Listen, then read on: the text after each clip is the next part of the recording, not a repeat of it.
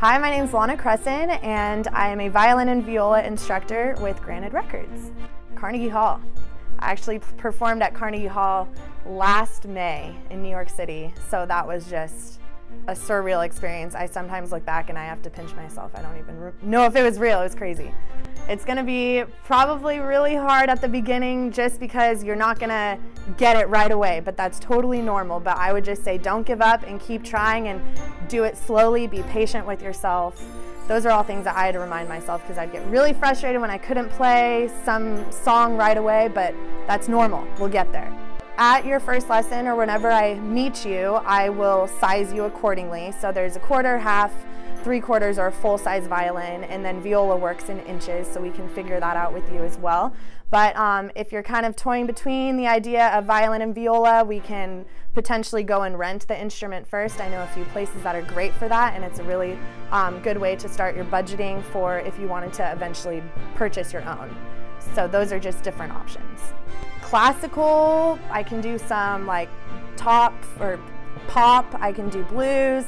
I haven't gotten too much into jazz, but um, I guess blues and classical would be my favorites to teach. Yeah. Whenever I'm frustrated with the violin or viola music in general, I will take the parts that I'm frustrated with and I will, I always say, break them down into bite-sized pieces so then you can digest each one and then eventually eat the whole burger or pizza, whatever you're into.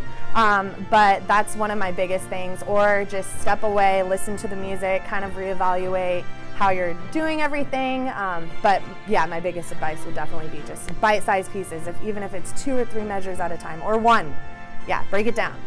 I love them both, but I guess viola right now, just because I can get like a deeper tone and it's very meaty and uh, yeah, I guess that would be the best description. But then I do love jamming on the violin to like blues or fiddling, you know, whatever you want. So, hard question. seeing that light bulb go off and seeing the passion that my students can can get from it.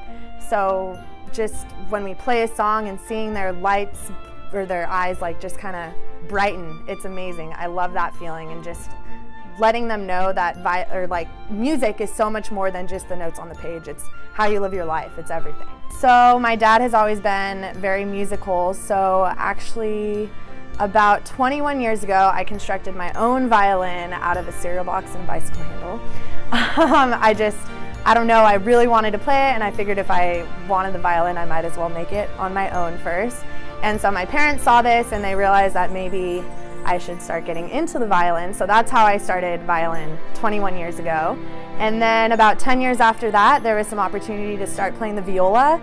And at first I was like, what is that? Or kind of what, what, entail, what does the viola entail? And uh, I've been playing viola ever since then.